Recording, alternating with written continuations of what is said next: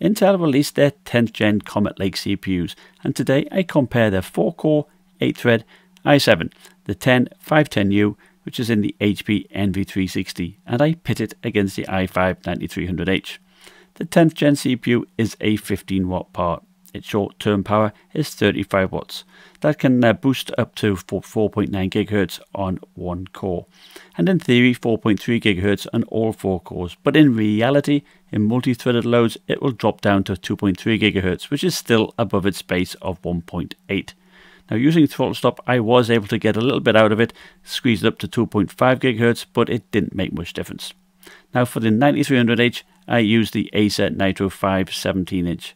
It has a short-term power of 56 watts and long-term power of 45 watts and can hold 4 GHz on all four cores in a combined CPU and GPU workload. First up is Cinebench R15. I test both single core and all four cores. Now this is a short test and doesn't stress the CPU all that much. So consequently, in the next test, I will do Cinebench R20. So here in Cinebench R15, the 9200H did pip the Comet Lake CPU by about 10%, 705 points versus 641.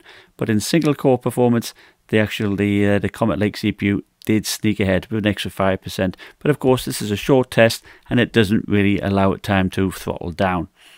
Now onto Cinebench R20, a much longer running test, tested again single core and multi-core. With this being a longer test, the Comet Lake CPU does throttle down to 2.3 GHz in a multi-threaded uh, benchmark, and consequently it is 49% behind the i5 9300H, and even in single core performance it is 15% behind. Now on to 7-zip that measures the speed of compressions and decompression in a rating called MIPS, which is millions instructions per second. And as you can see, it is taxing all the cores at 100%.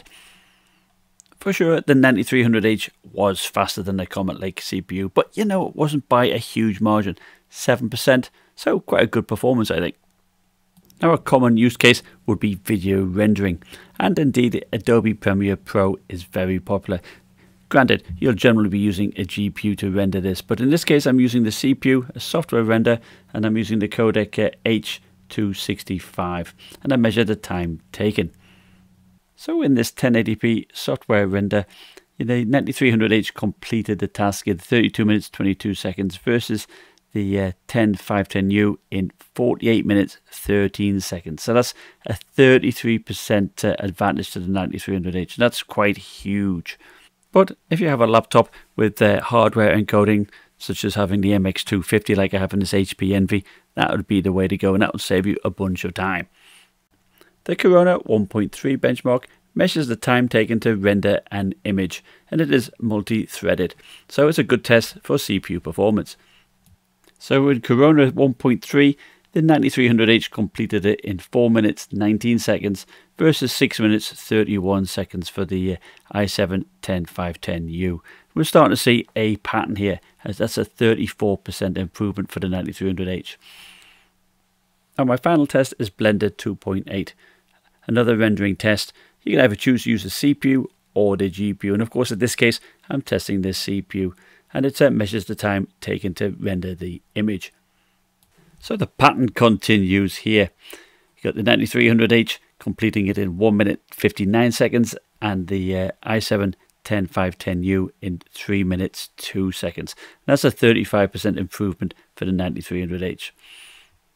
And here is a summation of the results, the 9300H relative to the i7 10510U. And if you're running a lot of multi-threaded applications that take a long time, then, you know, certainly the 9300H, the extra power there does help out. You're looking at an average of 38% extra performance boost. But, you know, if you're running, perhaps your tests are shorter, the difference won't be as much. And also, you know, if it's single threaded, short run test, you'll be fine too.